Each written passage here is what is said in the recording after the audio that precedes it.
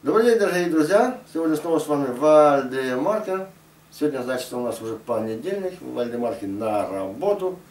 И, значит, просто я с утра сейчас хотел записать коротенькое, маленькое такое видео, а, ответить просто на один комментарий, который нам, нам написала Зинаида Леонидовна, по-моему. Да, Зинаида Леонидовна. А, значит, она пишет, что именно под видео, там, где я рассказывал, а, когда к нам домой приходили неизвестно какие люди, да, просили там подачку, так скажем, да, или деньги, что они просили. И она пишет, чтобы я, значит, совет такой дает, чтобы завести собаку. Завести собаку, а, даже и не только, допустим, на наш дом, и на соседский дом. А, я понял так, что человек не знает, что в Германии нет такого, чтобы собаки ходили на улице или чтобы собак привязывали на такие цепи. А в Германии такого очень редко где увидишь. А как-то показывали много лет назад по телевизору, где-то на восточном Германии такое еще было.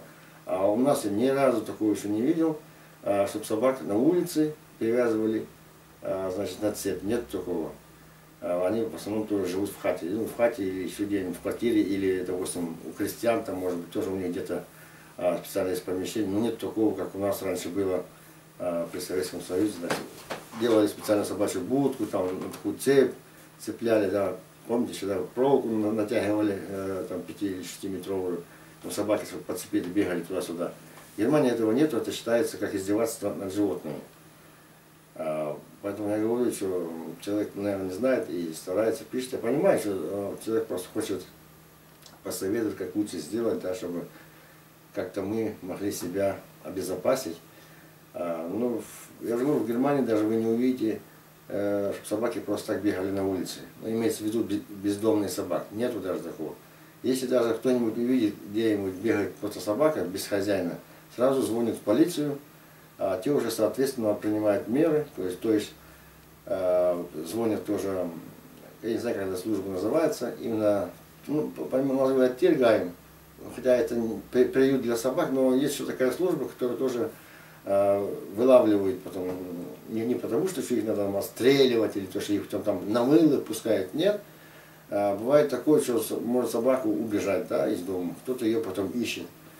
А если я, допустим, замечу, что собака бегает, значит, я должен сообщить, ну не должен, но обычно все так делают, сразу сообщают полицию, что мол, бегает собака. Мало ли какая-то собака может быть, да, может действительно а, она больная какая-то, не дай бог кого-нибудь укусит, будет проблемой. Поэтому люди сразу звонят а, значит, в полицию, и те, соответственно, значит, принимают меры, приезжают, ловят, вылавливают, и всех, никто их сразу не убивает, всех их везут сперва, всех даже кушек, которые вылавливают, все везут и сперва, значит, а, тиргаем, а, как это, для, для животных, я то, что говорил, уже забыл в эти дома, где, где, где значит, э, содержат этих животных, их сперва туда везут, там их сперва сколько определенное время держат, а, возможно, э, еще кто потерял, допустим, собаку или кошку ушла, э, люди сразу начинают звонить везде, звонить полицая.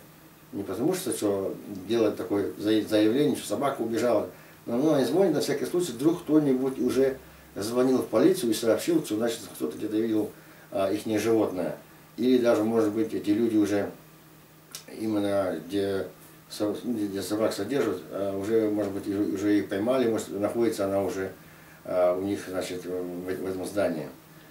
Вот. И люди поэтому звонят и, и спрашивают. Поэтому, Зинаида, нет такого в Германии, чтобы, значит, просто так собаки э, ходили или бегали просто по улицам. Это считается ненормальным, люди сразу обращают на это внимание и сразу звонят. И в Германии даже принято на улице, если ты прогуливаешь собаку, то она должна быть на привязи. Должна быть на привязи. Есть такой закон, она должна быть, быть на привязи. То есть ты идешь, если на поводке ее ведешь. Просто так тоже бегать не разрешено. Хотя многие тоже делают, но это, наказ, это наказуемо. Что еще я хотел сказать? Ну вот как-то так вот. Просто я прочитал комментарий, подумал, давайте сразу с утра попробую вам объяснить, как она на самом деле есть. То есть, э, и собаки не такие здесь, то и злые. Даже если я заведу, заведу собаку у себя дома, да, а, то от нее толку мало не будет, потому что тут э, старается, если собака какая-то агрессивная, то они обращаются к врачам или к специалистам, э, которые тренируют собак, да, которые знают уже, ну, знают э, все повадки собачьи, и они как-то рассказывают вам, как, как это все это исправить, чтобы собаки не были такими злыми. Получается, что даже бывает, заходишь в какую-нибудь квартиру, у кого есть собаки, она даже не выходит. И только у наших соседей собака какая-то дурная, она постоянно на улице гавкает. Потому что я, по-моему, с, Беларуси или откуда привезли эту собачку. Не потому, ребята, нет, не потому, что она с Беларуси, поэтому гавкает. А просто собачка такая, она действительно чокнутая маленькая. Она всех гавкает, даже Васька прибежит гавкает. А, и поэтому я считаю так, чтобы именно для защиты квартиры иметь собаку, а, в принципе, это не будет так функционировать, Хотя, да, некоторые и тренируют собак, да, все это есть, ребята, но содержать на улице в Германии, в принципе, это как-то не принято. И вообще запрещено, чтобы собака была на привязи.